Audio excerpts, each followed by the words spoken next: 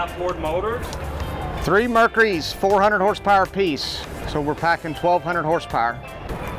Well, this is a 2022 uh, Tiara. Uh, this particular model is the 38LX. Look, it's so open. It's a very wide open boat. This is a very large bow rider.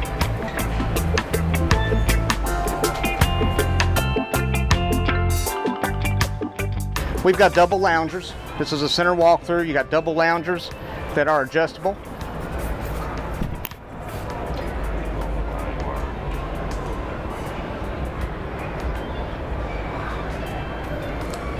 What's this boat cost? About the same? This one's right around 700,000. So here we've got an electric grill. This boat is also outfitted with a refrigerator drawer. Uh, there's also a second optional refrigerator drawer in the front, the sink, TV set. This boat is equipped with a KVH, KVH uh, satellite system, so you can have your TV while the boat's underway. Okay. Uh, everything you see here, materials and everything's done in-house at Tiara. Where's Tiara? Tiara is built up in Holland, Michigan. Okay. Little garbage can? A little trash receptacle. We do have air conditioning heat in this cabin. You've got the two Garmin screens. The boat is outfitted with the Fusion sound system.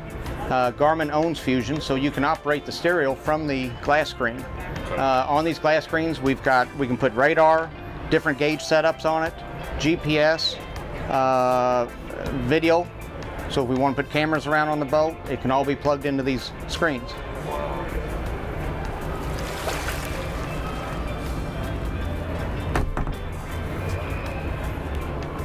Wow. That's a good looking head? It's very roomy, very spacious, uh, and that is not a porta potty. That's a that's a high quality porcelain freshwater flushing toilet. Really? Mm-hmm. No shower in this stuff. No, Gotcha. So very it's when you jump in the lake. Yeah.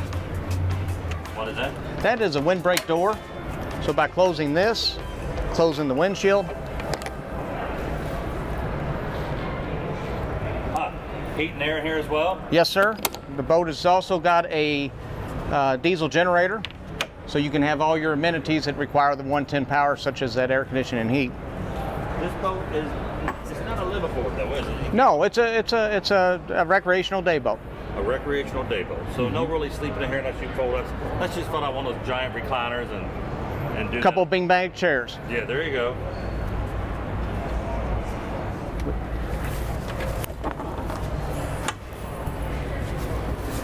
This has got a little storage facility in it.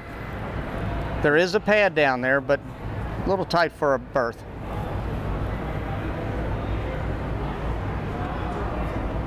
But you could if you had to. Absolutely.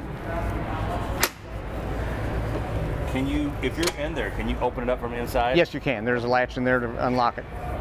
Uh, on all three of our models that we have here today, we have what's called a Mediterranean shade. It fastens to the top of this brow and extends out over where two prop rods, three prop rods in this case, will suspend a canopy over top of you to keep you out of the sun. Oh wow. What's this big giant? Is that for the anchor right there? Yes, so your anchor area.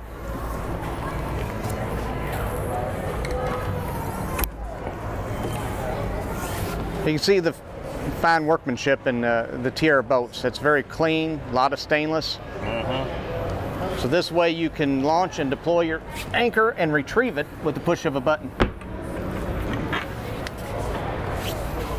And again, this is the This is a, the, yeah, this is a Tiara Yachts, uh, 38 foot LX.